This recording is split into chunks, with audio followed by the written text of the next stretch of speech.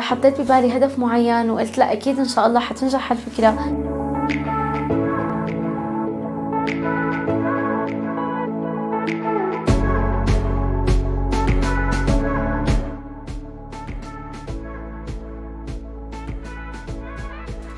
مرحبا واضح. أنا دانيا من الشام عاملة مشروع صغير طبخ بيتي. تقريبا من أربع سنين بلشت فكرتي بصحن برك بلشنا أنا وأكثر من صبية نعمل صحون برك ونوزعها على مراكز كتير كبيرة هون بالبلد عنا مثل مراكز طب الأسنان مثل مراكز تجميل مثل مشافي. مشان ندوق شغلنا بعدين بلشت ينطلب مني أكثر من صنف. فإجباري صار بدي كبر الكادر لازم كنت لحالي. لا استعنت بصديقة لإلي إنه شو رأيك ممكن نحن أنا وياكي نعمل شيء ثاني كريم شارلوت عنا اليوم. 15 15 طب أوكي.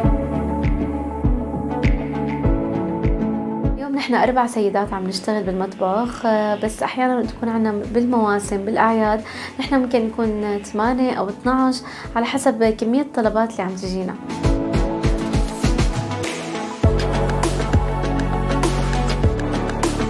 قبل مشروع المطبخ كنت عم درس آه، بعدة مدارس آه، طلعت بالفكرة كتير استشرت عالم عالم حبزوني وعالم شجعوني وقالوا لي ممكن هالفكرة تنجح وعالم لا قالوا لي لا يمكن ما تنجح وما تتأملي كتير و...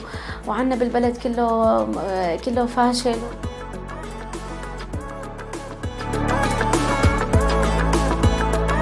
في عالم بيوصلونا على الطلب بنودي لهم الطلب وبنرجع بنروح للمكان وللعنوان فما ما بنلاقي الزبون يعني. الصعوبة الثانية اللي عم واجهها هي صعوبات التنقل. آه، المواصلات كثير صارت غالية والزبون ما عم يتقبل فكرة إنه نحن يدفع اجار توصيل آه، يعني زيادة عن ال عن النظامي أسعار المواد الأولية كمان يوميا بشكل يومي عم يصير زيادة بالأسعار الأولية.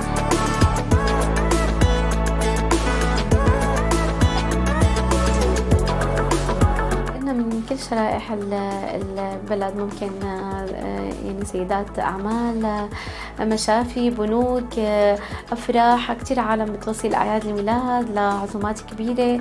الأعراس موجودة بأي صالة يعني نجاح ومصداقيتك مع العالم الكبيرة. إنك العالم بتحبك تشوف شو عم تعملي. تكوني متواصلة معهم بشكل يومي. توصلي لقلوبهم. ما تفكري بالربح فورا فكري بالأول بمحبة العالم لإلك. يومي بيجينا كتير أسئلة إنه كيف هالأكلة بتعمليها؟ شو مكوناتها فنحن ما كثير بنكون فاضيين عم نشتغل بعملنا بشغلنا. فهلأ نحن حنعمل لها مدونة إلكترونية حتنزل فيها كل الوصفات وكل الأكلات. طموحي إنه أوصل لكل شيء سوريين برا البلد. طموحي الثاني إنه يكون عندنا الأكبر طبعا إنه يكون عندنا مطعم وسط دمشق